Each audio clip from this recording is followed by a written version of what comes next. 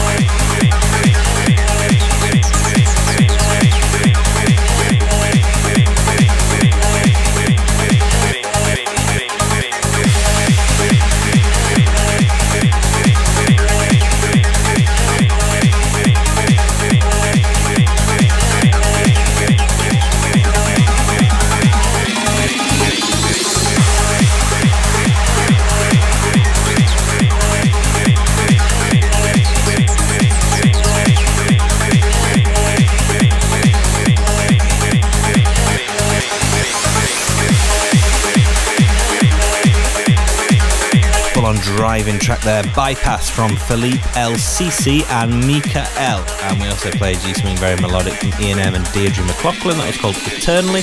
And before that, a uh, big one from German star Alex M.O.R.P.H called Stardust, and that is out now on the legendary Brilliant Vandit um, out of Berlin. Thank you very much for tuning into this week's show. It's been a pleasure to have your company as always. Full track list can be found at transmission-radio.com.